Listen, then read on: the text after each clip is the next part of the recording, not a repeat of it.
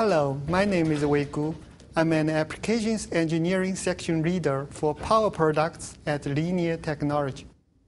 Today I'm going to discuss the LT3799, a complete offline LED driver solution featuring standard triac dimming, active PFC, and well-regulated LED current with no optocoupler.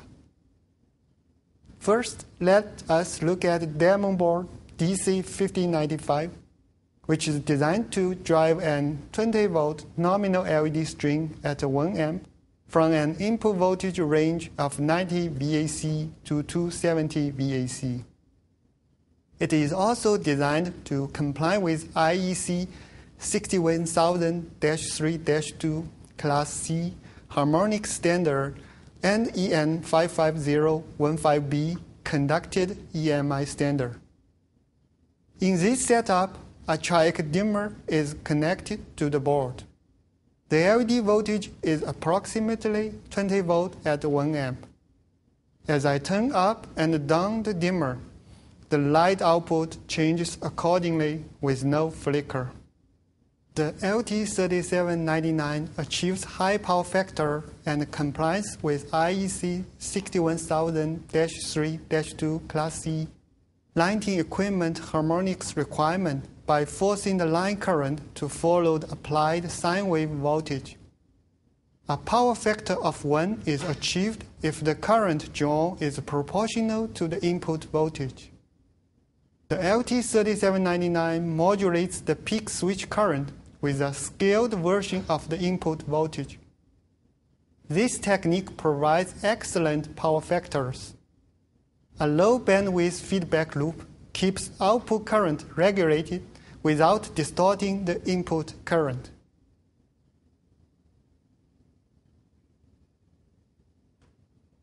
The LT3799 requires no optocoupler and sends the output current from primary side switch current waveform.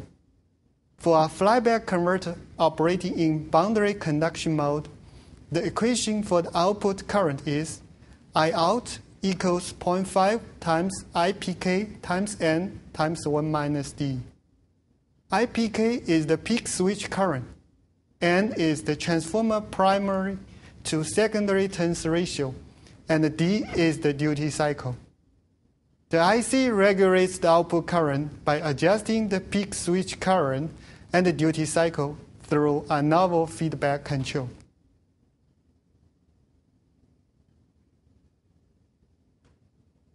The LT3799-1 provides better line regulation than LT3799, but cannot be used with triac dimmers.